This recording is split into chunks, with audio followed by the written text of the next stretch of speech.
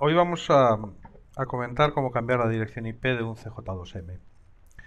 Dentro de la serie CJ2 eh, hay dos series, eh, aquellas cuya primera cifra empieza por, por 1. Esas eh, solamente se podríamos acceder a ellas por, por, el puerto serie. Actualmente la 11, de la 11 a la 15, cuanto mayor sea el número, indica que es más potente, más rápida y con más capacidad de programa. Y después tenemos las de la serie 3, las CPU31 o la 35, que estas van a integrar un puerto de Ethernet IP integrado. Ethernet IP es un protocolo de, comunicación en tiempo real que está mantenido por la OPDA, la Open Device Vendor Association, eh, que es capaz de mm, transferir datos en, tiempo real entre dispositivos, con lo cual nos va a permitir que a través del puerto de este puerto de Ethernet IP nos va a permitir eh, comunicarse con unidades de periferia o incluso transferir datos de forma cíclica entre más de un PLC, siempre y cuando dispongan también de puerto Ethernet IP integrado. En un principio la configuración, la conexión al, CJ2 la podemos hacer bien por Ethernet IP o bien por USB. Todos los, los PLCs de la serie eh, CJ2 sí integran el puerto USB, pero solamente los, eh, los de la serie 30 nos van a integrar el puerto Ethernet IP. En un principio es más práctico conectarse por USB. Ahí, como estoy ahora mismo conectado directamente al PLC, pues ahí en principio, ya estaría conectado. Y como siempre, lo primero que tendríamos que hacer es eh, configurar eh, la tabla de entradas y salidas. Como en este caso tengo un PLC que está correctamente configurado, lo más práctico es bajarme la tabla de entradas y salidas. Con lo cual se me han transferido todas las, eh, todas las unidades que, tengo conectadas al bastidor, que en un principio es una unidad de entradas, otra de salidas a transistor y una unidad maestra de, de CompoBus S y después lo que es la parte de configuración del Ethernet IP también está aquí en, el apartado de tarjeta interna. Que en principio esa es la dirección que actualmente tiene el dispositivo porque es la que con la que trabajamos normalmente en, en nuestra aula. Si quisiéramos restablecer sus valores de fábrica, podríamos seleccionar la opción estando conectados como estamos ahora por USB y con el PLC en, modo stop. Podríamos decirle que se reiniciase y el tipo de reinicio puede ser emulando apagado y encendido o que vuelva a la configuración de fábrica y emule el apagado y encendido. ¿Qué va a hacer cuando vuelva a la configuración de fábrica? En principio lo que va a hacer es, en vez de quedarse en el rango 10 Em, lo que sea, se nos va a ir al rango 192, 168, 250 y el valor que en principio le corresponda. Esa última cifra va a depender del valor que tenga que estén ajustados en principio en los switches rotativos que tenemos justo encima del, del conector de la unidad. El primer switch es para indicarle el número de unidad. Si tengo va de 0 a F, es decir, podría tener hasta 16 unidades distintas. Solamente se modifica en principio si tengo más de, una unidad de comunicación. Mientras que los dos de abajo nos indican la última cifra de la dirección IP en formato hexadecimal, de 01 a FE, es decir, de, de 1 a 254. Nunca debemos utilizar la dirección 00 porque entonces quedará eh, en error.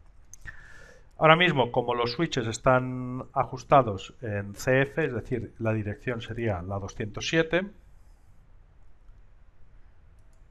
pues lo que va a hacer una vez que lo reinicie, ahora mismo está haciendo el reinicio, se va a ir a la 192, 168, 250, 207 y ya la tendríamos dentro del rango.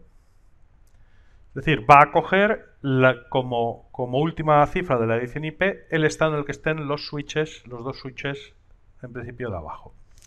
Como este no es el rango que en principio a mí me conviene, ahora estaría reiniciada, Y como mi PC está dentro del rango 10, lo que hago pues es simplemente se lo transfiero. Le voy a transferir esta configuración que tengo aquí a la unidad para poder comunicarme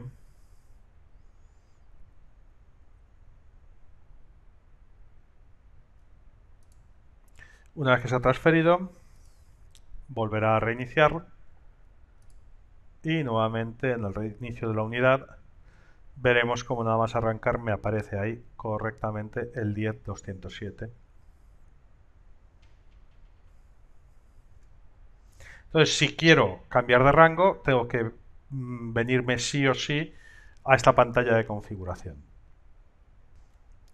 Si siempre voy a trabajar o ya modifico mi, rango de direcciones en planta en el rango 250, no necesito utilizar esta, esta pantalla de edición de parámetros, sino que directamente, simplemente cambiando los switches eh, rotativos a la dirección que yo quiera y reiniciando la unidad, restableciéndola, pues ya directamente cada vez que arranque, pues irá tomando el valor que, que le corresponda. Para el cálculo de la dirección IP del, ajuste que tenemos que hacerle en los switches rotativos podemos utilizar la calculadora de Windows en modo programador donde en función pues, de la dirección que yo quiera, pues si quiero que tenga la dirección 02 en decimal, pues en hexadecimal lógicamente es la misma. Si quisiera que fuese el 254, perdón, la ponemos en decimal 254 en hexadecimal pues sería FE y en nuestro caso me voy a decimal, quiero que tenga la dirección 207, pues en hexadecimal es CF, que es justo el valor que tenía en el display del, del PLC.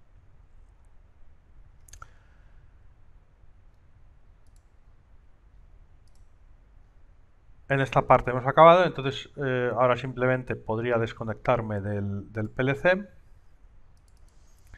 y ya una vez configurado el, puerto IP por el que me voy a, conectar, pues eh, cambiaría la, la, conexión. Y lo único que le tendría que establecer, lo único que le tendría que decir es la dirección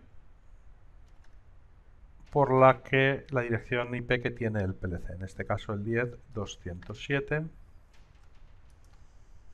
ya podría desconectar el puerto USB porque ya en principio no lo necesito. Y ahora mismo va a intentar conectarse con el a través de Ethernet y correctamente en principio ya está ya está conectado. Por tanto, recapitulamos. Si lo que quiero es cambiarle la dirección al PLC dentro del rango 250, es decir, eh, en vez de un rango que a mí me conviniese siempre dentro del rango 250, reiniciamos la unidad y le decimos volver a la configuración de fábrica, ajustamos los switches rotativos con la dirección IP en hexadecimal que queramos que tenga, por ejemplo, si queremos que tenga los 107, ajustamos los dos switches en C y en F. Si queremos que tenga la dirección 5, pues lo ajustaríamos en 0 y en 5. En principio, lo que, lo que necesitásemos. Y ya está, simplemente la reiniciamos y entonces va a arrancar dentro del rango 250 y con la última IP que le hayamos ajustado en los switches rotativos. Si queremos trabajar fuera de un rango que no sea el 250, obligatoriamente nos tenemos que venir aquí y hacerle ahí el ajuste de dirección que de rango de dirección que en principio nos conveniese, pues eh, el rango 10, el rango 33, el rango 50, el, en el que estuviese trabajando en nuestra red de, de autómatas.